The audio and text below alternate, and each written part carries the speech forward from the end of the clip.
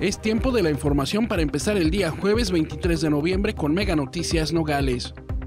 Dejan a padres decidir sobre asistencia de niños a escuelas por el frío. Inicia protección civil operativo de resguardo por bajas temperaturas. Abandonan llanta con 35 paquetes de metanfetamina. Convocan a concurso de dibujo sobre derechos humanos.